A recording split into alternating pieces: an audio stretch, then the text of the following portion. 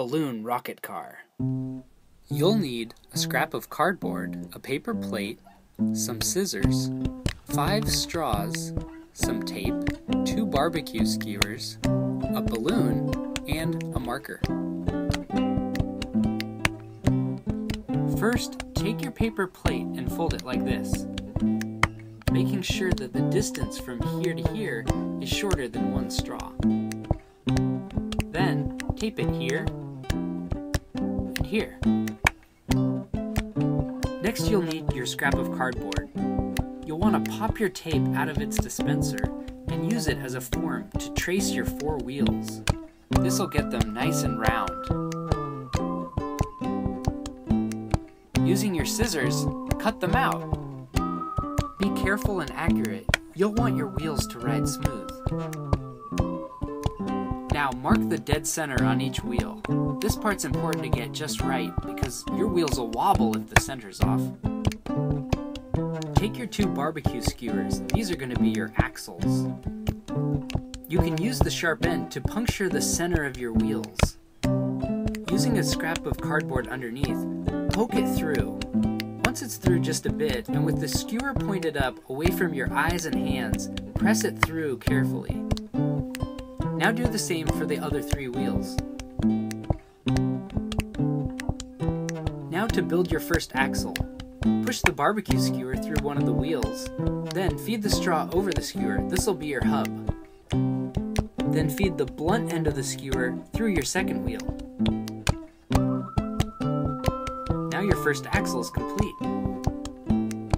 Do the same again, and now you've got two axles and four wheels.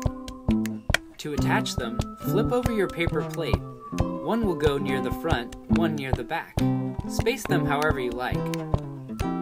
Make sure the hub of your axle is balanced and even. You don't want this riding crooked. When it's all even, tape it down here and here. Tape some more on the front axle, reinforce that. Maybe reinforce the back too. Can't be too sturdy. Adjust your wheels, get them straight. Alright, this is a nice car. Now for your tailpipe. Take your three straws, if they're bendy straws, cut off the bendy parts, and bunch them together like this. Then tape around the end, as tight as you can. Tape the other end the same way. Now to assemble your propulsion system. Cut the end off your balloon and fit your tailpipe inside it an inch or so deep.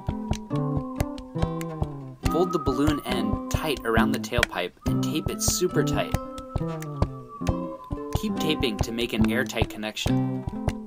Now look right here. Air from the balloon could leak out of this little gap between the straws and the tape.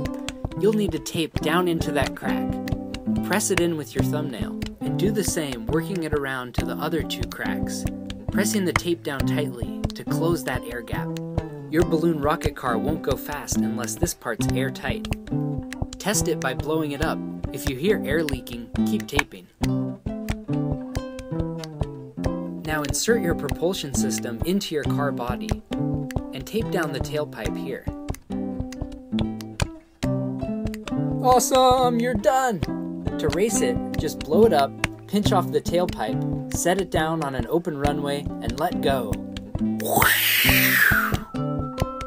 It's not riding straight, adjust the axles.